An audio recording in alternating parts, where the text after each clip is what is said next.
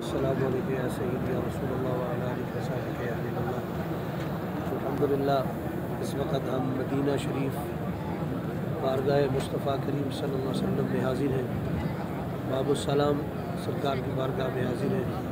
بڑی عقیدت و محبت سے بھائی جناب عاشق رسول ڈاکٹر غلام عباس سیالوی صاحب اور عاشق مدینہ، لگا سیدہ زہرہ بطول حاجی علی شیر کھچی صاحب، آپ کا سلام حضور کی بارگاہ میں پیش کرتا ہوں۔